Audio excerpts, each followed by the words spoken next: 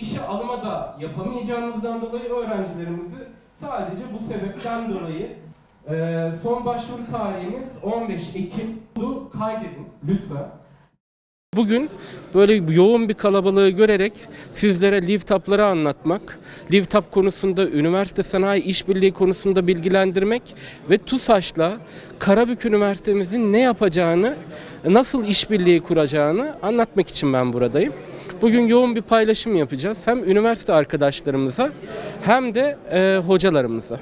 Yapacakları konuyla ilgili tecrübesi olan sanayi danışmanı desteği. Türk gerçekten çok etkili e, patentli motivasyon kaynağı haline